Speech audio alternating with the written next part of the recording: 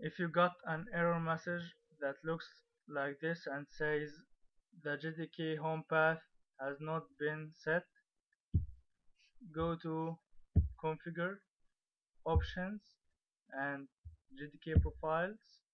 Delete all the profile that you have. Okay. And build the file again. You should get the message again click on setup JDK browse. If you are a 64-bit Windows user you should have two program files folders.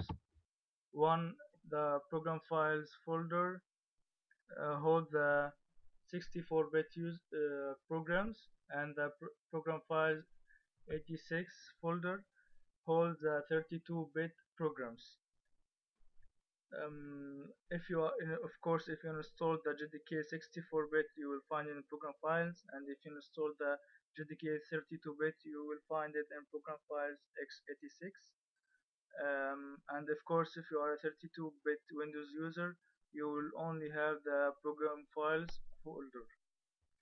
So since I have installed the 64-bit uh, uh, JDK I will go to program files and look for Java is and select the latest uh, version of JDK that I have. Okay finish.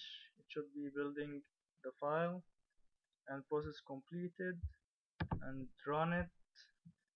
And it should print hello world. Perfect. It printed hello world. I hope this solves your problem. Thank you for watching